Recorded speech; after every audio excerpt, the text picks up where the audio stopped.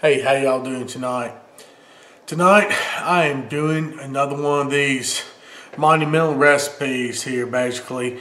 This is, I mean, something I've done before. It's going to be a pork butt, smoked pork butt, but I am taking one of the best pieces of pork that you can ever get your hands on. This is a some more of that Heritage Farm pork. Remember that the Kobe beef of pork I was talking to y'all about? This is it, y'all. And this is their bone-in pork butt, the Boston butt.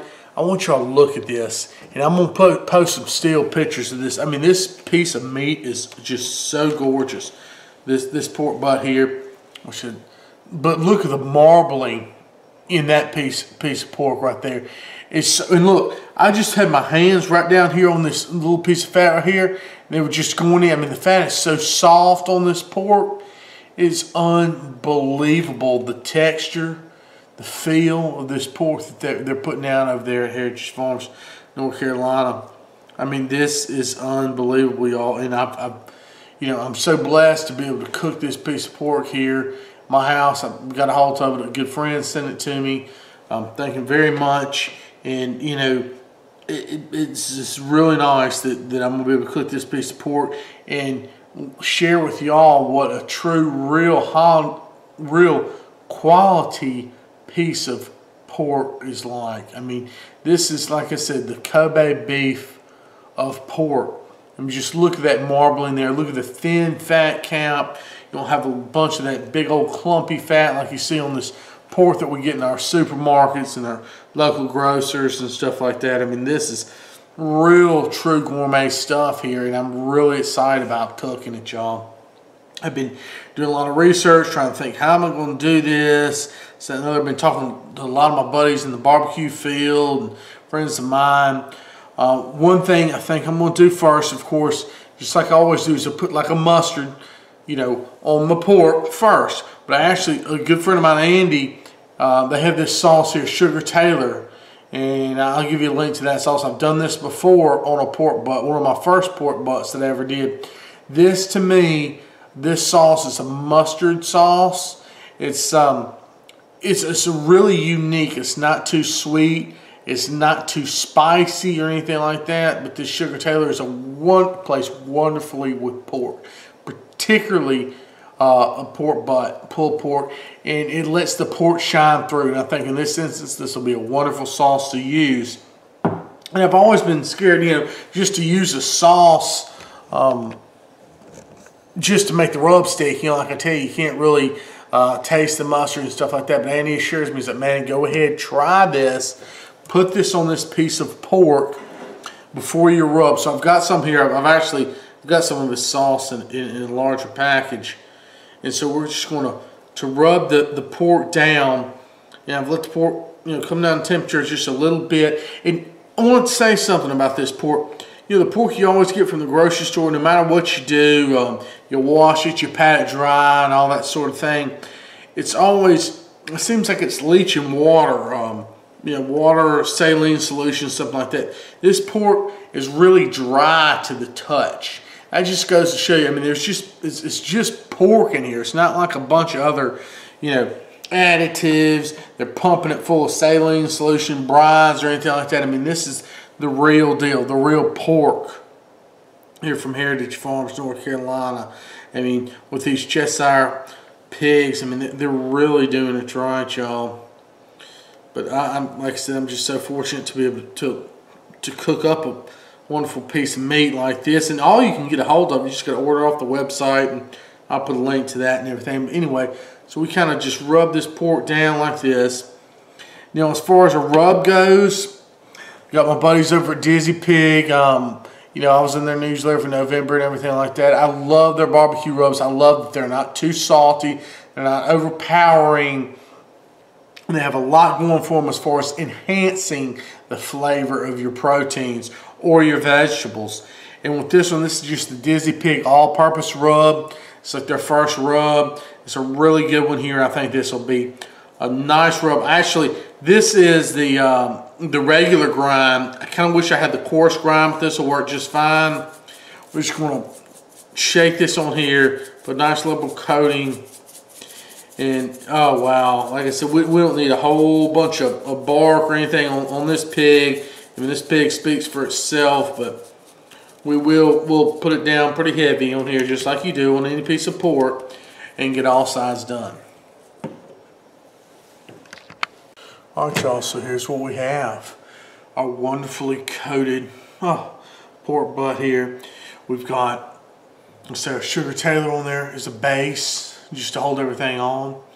And then we've got some of this wonderful Dizzy Pig, just original rub. But the most important thing, the most important thing, is the actual canvas that we're using here. We're using the best possible pork that one can come about. I mean, this is the chest Cheshire pig. This is just Heritage Farms, just our white pig. Beautiful marbling. I mean, you saw that pork, and I'll post some stills of the pork. I know this camera probably didn't do it justice, but it's just going to be some wonderful, wonderful looking pig there. And uh, we're going to go tomorrow. I went ahead and put it on, if you can see here, I put on the little grill that's actually going on my smoker. I'm going to use my electric smoker tomorrow just for fear of, I don't want to get this too hot. I don't want to scorch it or anything like that. I'm, I'm going to go about 225 and just do the low and slow, the whole thing. I don't want anything to spike up to about 300 or something like that because we're dealing with such a lean pork on the outside, such a tender pork I don't want, want to disturb it. Want, we'll do some testing. If I cook, you know, some more pork butts like this in the future, I'll test with them with higher temperatures. Right now, I want to start really low, really slow. So anyway, we're gonna put this in the bed in the freezer, in the roof, not the freezer, the refrigerator for tonight. Go ahead and get up early in the morning and stick this guy right in the electric smoker. Just, and I don't mean electric. You know, it's got wood chips in it and stuff like that into the smoker. You go ahead and ease that temperature on up and get that just subtle smoke flavor. I'm gonna use some apple wood tomorrow. That's gonna be really, really good. All right, y'all, this beautiful piece of pork is set all night in the fridge with that rub on it and that Sugar Taylor sauce. And I'm telling you, it still smells wonderful. It's developed a beautiful crust. I got it sitting here fat cap up what I'm about to do now is I'm gonna put some probes in it this morning. I got my Masterbuilt out there. That's that electric smoker. And what I've done, I've preheated it to 250. Now, you don't have to preheat them things, but from what I've been reading and everything, especially on a cold morning like this, it's best to preheat them a little higher temp. That way you get that, uh, the chip box where you're gonna put the wood chips and everything, get that hot. So once I get my pork in there and get everything situated, turn back down to 225 and put the wood chips in, that box ought to be real hot there and go ahead and get the smoke started. That's the reason I did that. So what we're gonna do here, y'all, is um, go ahead and put some probes in this guy. Got my iGrill 2 probes here. Let me see what I'm gonna try to do. Find a good spot. Well, there's the bone. I don't want to put in the bone, of course. And y'all, I'll tell you what. Let's see. Bone, bone. Go underneath the bone in this muscle right here there. And I'm gonna put, I might put another one in. I'm gonna go ahead and put another probe in here. I just do not, last thing I wanna do is dry this pork out. And this, this is a beautiful piece of meat. You don't get something like this every day. So, go over here and push that guy in. Path of resistance there. All right, so we got two probes in there and I've got, I'm gonna put my temperature probe in the, in the uh, smoker too. Let's go ahead and go and get it out to the smoker.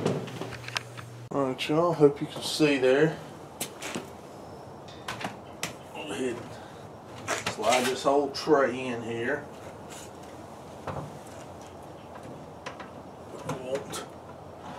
Yeah, I'm gonna run these probes up through the uh, up through the vent here. So I got my probes run. I got my, I got a temp probe in there, ambient, just to check uh, the temp against this um, against the Masterbuilt. So here's my ambient temperature. I'm gonna plug it into the iGrill 2 first before I get all this too tangled up. Let's go ahead and shut the. Oh, I put a cup, couple cups of water down there in that water pan. You want to do that. Get some moisture in here. Shut the door on this thing.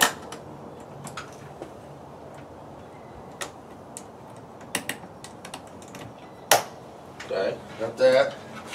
Go ahead, plug this. I always put my ambient number one on the iGrill 2. Then I go ahead and put my meat probes in two and three. And they're just going to help us figure out what exactly is going on with this pork. We want to keep up with every waking minute of it, y'all.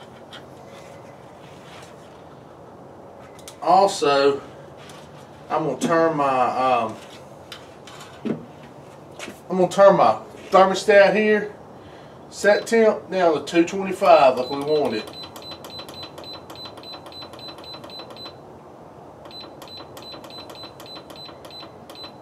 Right. We got time still the same.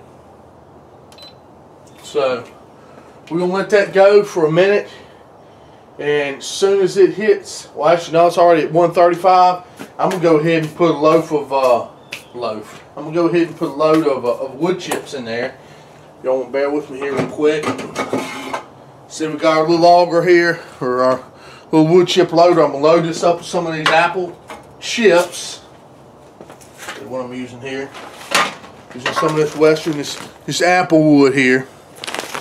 Is apple. Now, let's load this dude up. Now some people talk about soaking the chips in water and all that stuff. I don't, I just don't do all that right now. You know, uh, I'll keep. I think what that does is may save you a little bit on the wood chips in the end. You know, they don't burn quite as quick. But I don't care if I got to use this whole bag with this piece of pork. but I don't take any chances. So go ahead and put these wood chips in here on the side.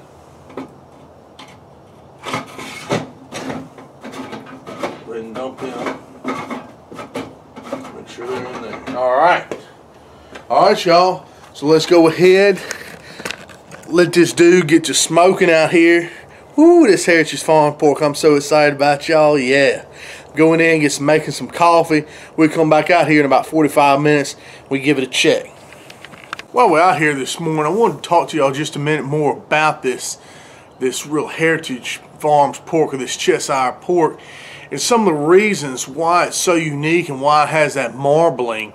You know, first off, you know, it's the Cheshire pig, you know, heritage breed pig, a really, really uh, nice breed of pig that are bred for their tender meat and their marbling.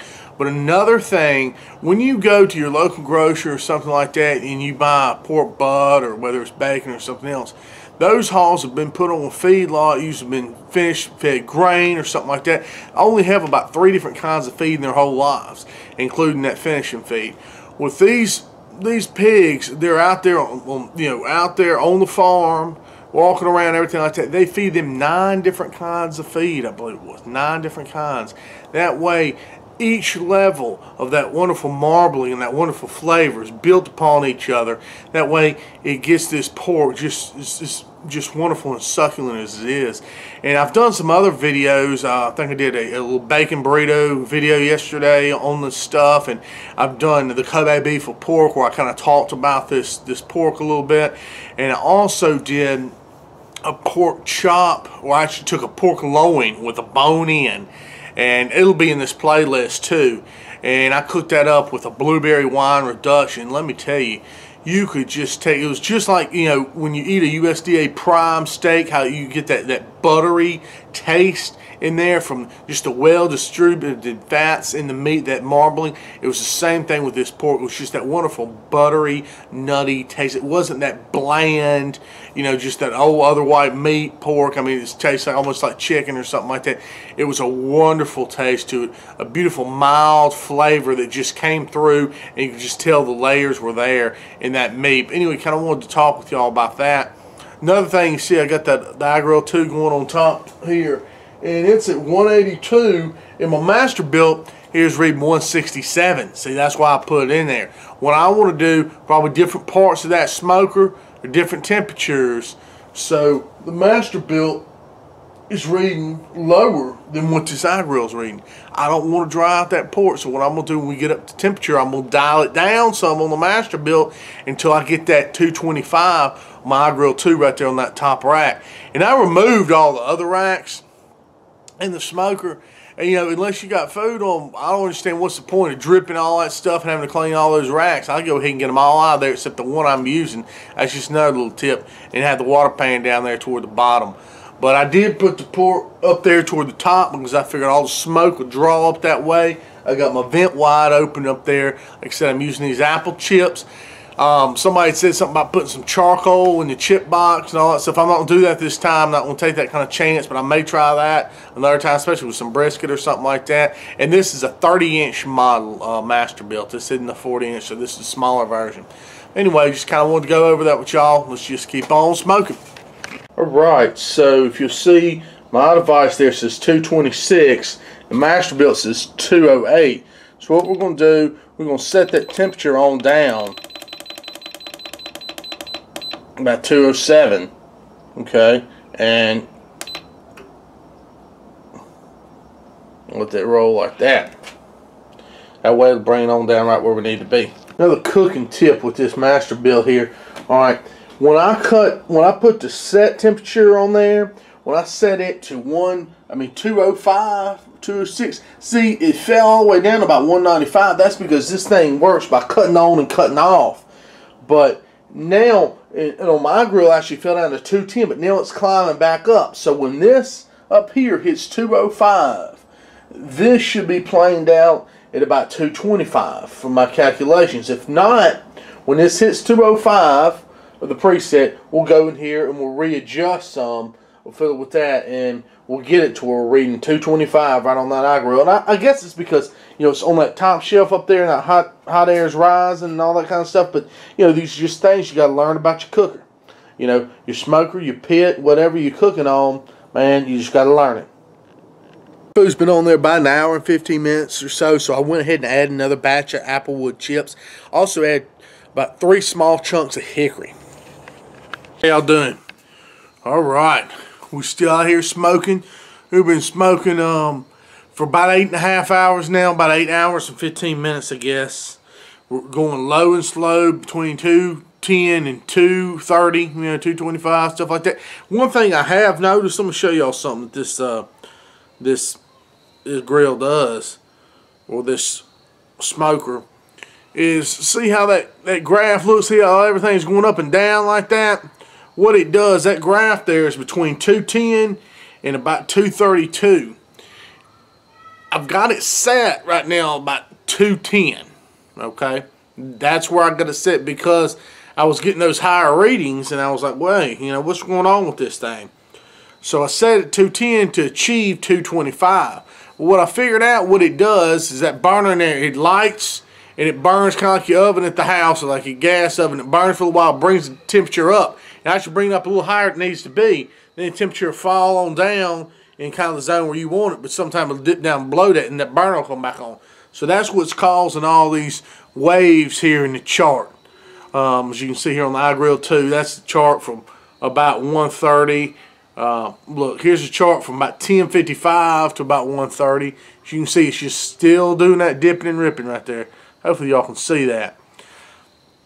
Now as far as the uh, the meat goes, I mean the meat's just steady on a steady uh was did a climb and it's kind of kind of on a stall and it's kind of picking up a little bit. It stalled out about 150 or so. Uh, we're, we're more in about the 160 ranges. I've got those two probes they're about eight degrees apart.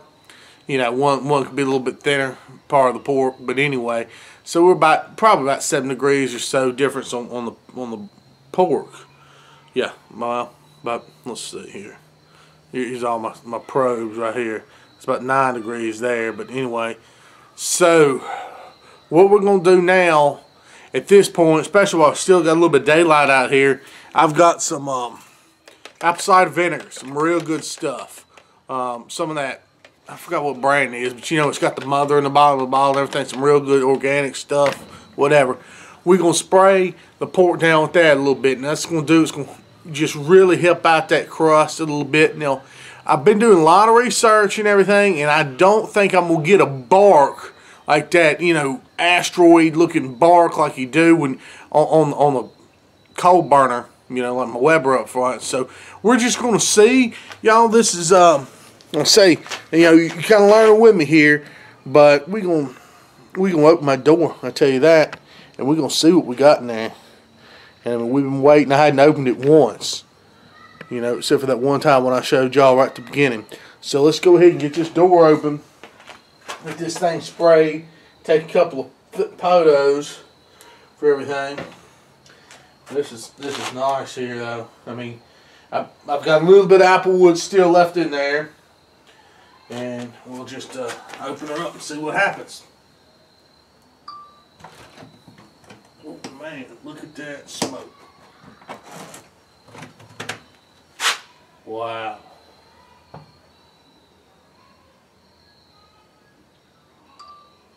It looks beautiful. Take a couple pics.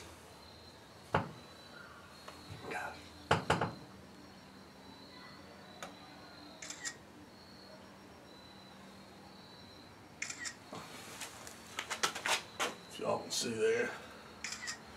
Now, it looks like it's developing somewhat of a bark. I'm gonna go ahead and spray it down with this with this uh, apple, cider, apple cider vinegar. Just get a little bit moisture on it, just so it don't dry out or nothing like that. See that water pan down there. Maybe put a little bit more water in that pan too, y'all. Go ahead and do that while we got the doors all open and everything else.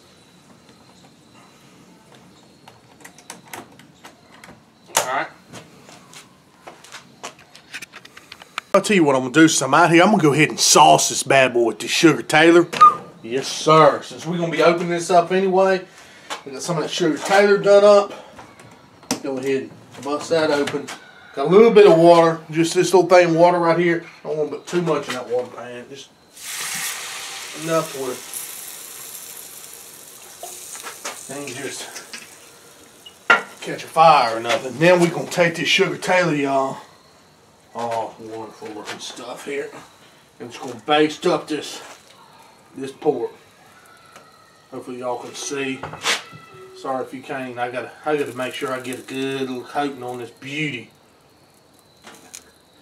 Now, I don't know what people are talking about saying you can't get a bark with one of these smokers. Cause that looks like a wonderful little bark to me. It may just be this pristine pork that I'm using, y'all. Like I said, I mean, this is the Chateaubriand, the Kobe beef pork for sure. So we'll go ahead and get that basted on up. That, oh yes sir. Get that on that, all up on that crust. That's gonna make a wonderful baste. Oh yeah. Beautiful. Get one more snapshot of that thing before we close them up.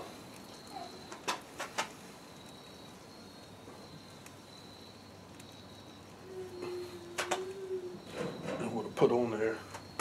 Try to do this stuff to help me keep my records too.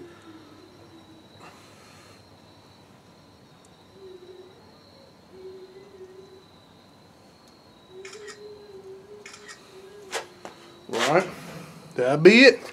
That's it, y'all. After I did that wonderful basting on there with that, uh, oh man, that sweet Taylor, sugar Taylor sauce, and um, went ahead and sprayed that vinegar on there. Man, oh man, I ain't gonna wrap him, no Texas crust, because look, I can tell when a beautiful crust is forming on a piece of pork like that.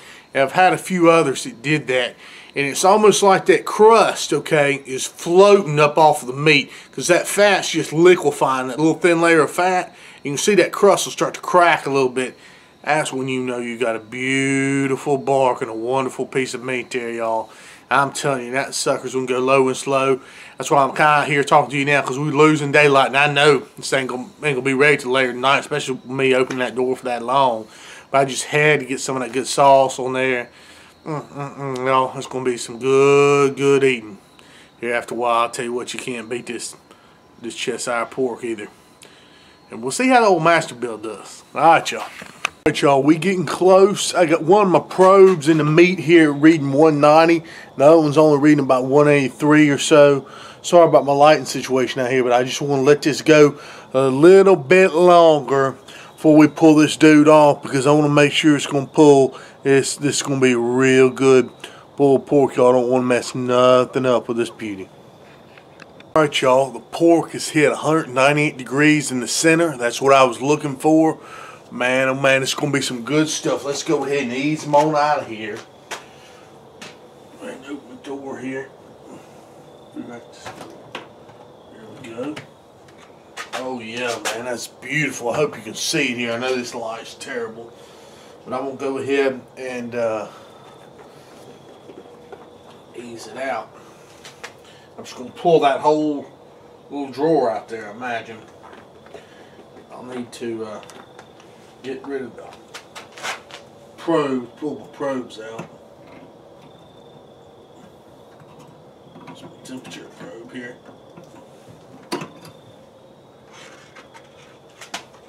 Gets hung up.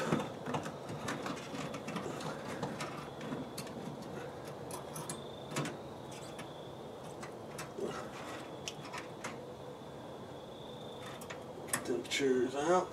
There we go just roll, like I said, roll on with this, uh, of one probe can get hung up in the whole deal. Put that thing right there. You look at that, that's a beauty. Let's get this dude on one side here and we'll mess with it in a second. Look at that there, and look, see this bone right here? Look how that thing just wiggles on out of there. That's just what you want to see. Mm, mm, mm. Go ahead and wrap this guy in full show you here. We'll take this and set over here on this fall. Should have kept, kept them gloves there. Let me give me some gloves on. Put these heat gloves on because that thing's hot and you got to be delicate with it because that thing will just fall apart. What we want to do is just bring the temperature down a little bit in that guy. Rest. Here actually. Look at it. See, it just wants to fall apart. Be real careful about this. Don't want to stick to that. Look here. Set this dude over here on this tinfoil like that. Go ahead and get these gloves off and we'll wrap him. Oh man, it's gonna be good. Go ahead and just roll it one time in this foil here. Ooh, that's hot. Wrapping this is all the foil I have left, man. Just enough. Go ahead and wrap it like that. See there? Then what we want to do is set this inside a Pyrex like that. Right? And I've got a bath towel here. Just something to keep it insulated. I'm kind of lay that over it, wrap it around a little bit, and let it hang out like this for about an hour. Alright, that is some beautiful pork, y'all. I can't wait to give it a taste now. Alright, y'all, I can hardly wait. It's been a little over an hour now. Let this wonderful pork butt just sit here and rest. We'll go ahead and just take him out of his wrappings here. right down here on this beautiful teak cutting board. And let's see what we have here, y'all. So, take it out of the towel. Let's be careful here. I don't want to disturb the bark too much. Don't have to. Look at that, just gorgeousness. That bone right there. Ahead and flip him over right there. Oh yeah, y'all, look at that. That's just a thing of beauty. what I'm gonna do I'll try to pull it apart some here in the uh, in this tray. And just look at that pork right down there, y'all. That is unbelievable. Look at it just pull apart. Oh, the aroma that pork is just phenomenal. Look at my bone here. Look at that. There's your bone right there, buddy. That is, that's gorgeous. But what I want to do, I'm actually gonna take this little piece of pork right here, set it aside. Look at that. Just gorgeous. Sit right there on that in that board. Wow. So just smell this. I mean, this is just absolutely gorgeous here. Let me turn around so you can see that bark. Look at that. Is that not gorgeous? And we're just gonna, I've got a little cleaver here. It's a little bit too hot to, to pull right now. I'll pull here in a second. We're just gonna kind of cut through.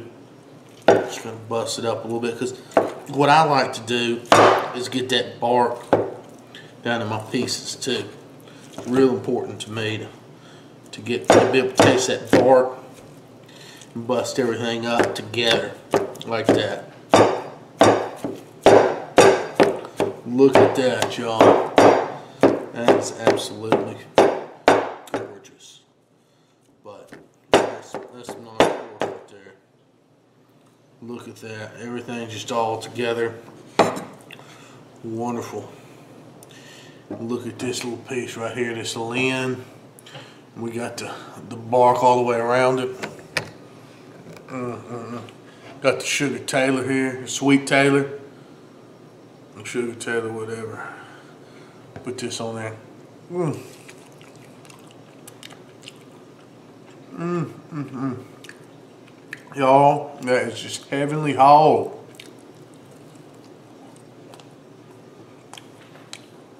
Mm, mm, mm.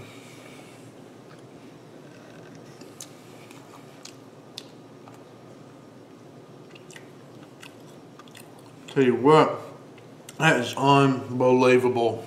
Unbelievable. Y'all, the texture of this meat just melts in your mouth. Ain't nothing like, oh man, this Cheshire pork. And it's got that wonderful bark on there from that Dizzy Pig.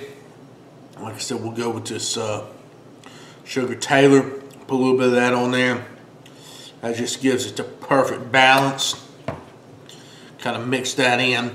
I'm gonna make me a sandwich here, y'all. I tell y'all what, I mean, we really, really built masterpiece here today. You know, using all these, these great ingredients. This, um, you know, of course, main thing is Cheshire Pig, but you know, with the Sugar Taylor and the, and the Dizzy Pig uh, rub to build that wonderful base onto that pork. I mean, you just can't can't compete. Like I said, I'm gonna make me a little sandwich here. Enjoy some of this. I mean, I can just, oh, this is just wonderful, wonderful pulled pork here, y'all. And uh, you just can't compete with stuff like this. This is the best barbecue that you can get right here. Man, oh man. -mm. I'll tell y'all what, I went ahead and pulled most of that pork and put in this little Pyrex right here, with top, top on it. Man, I've never had pork that was that tasty before, being as a pork butt. Generally with a pork butt, you know, put a lot of sauce on or something like that, and overpower them with rub. And I kept pulling pieces, tasting as, as I was tearing that, that butt apart. And I tear them into bigger hunks uh, to put in the refrigerator to save. And then when you get ready to eat it, you tear it down some more. But anyway, uh, just every piece that I tasted had just so much flavor locked into it, so juicy. It wasn't like, I mean, it's, it's really hard to explain of how much better this was than just a normal pork butt or how you can tell the difference. It's like there was a, um, it was a really unique taste. It was almost like a, like a buttery taste or something like that to the meat to where there was really flavor there to whereas most of pork butt, like I said, you get all your flavor from the outer crust and then whatever sauce you put in there. But this one had flavor throughout and I really thought that was an interesting point about it. But anyway, y'all, thanks for hanging with me for this long, low, and slow. You know, it was one of the ones that took a little bit longer than I thought it would. Heck, it's 12 o'clock at night now, so I just had me a sandwich. I've been waiting around all day for that one. But anyway, Y'all, uh, you know, if you like my videos, please sub my channel, hit the like button and all that. And I'll put a link to where you can get some of this pork in the description box of the video. And I appreciate y'all. Hopefully I have some more uh, videos coming up soon on that smoker out there. You know, I'm proud of that thing. It did good on this butt. It really did. Put that nice little bark little crust on there. That's what I thought it was going to do. And on the back side, there was a lot of paint. Let me show you here real quick because I know everybody's gonna be like, no. Um, you see back over there some of the bigger pieces. See, you can see that pink and stuff like that. There was a little bit of smoke ring on there too, so I didn't think it, it'd leave really a smoke ring, you know, without having charcoal, but it did did really good, and I could taste that smoky flavor to it. So I like that apple wood as well. So anyway, thank y'all. Good night.